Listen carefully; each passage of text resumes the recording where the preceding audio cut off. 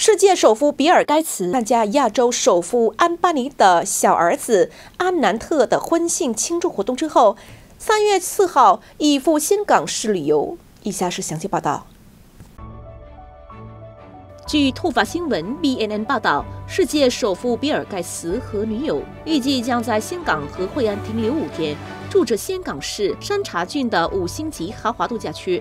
这位顶级富豪上次来越南。是在他出差的2006年，目的是准备信息技术领域中的若干商业交易。目前，除了担任比尔迪梅琳达梅茨基金会的联合主席之外，他也是突破能源基金和该词风险投资公司所有者。该次风险投资公司对许多初创公司进行投资，旨在实现新技术商业化。岘港和惠安是越南两个著名的旅游景点。位于越南中部的岘港市，绵长悠远的海岸线，正是一个极具吸引力的目的地，备受海滩爱好者和度蜜月情侣的青睐。惠安古镇自15世纪曾经是一个繁忙的国际贸易港口，被联合国教文组织公认为世界遗产。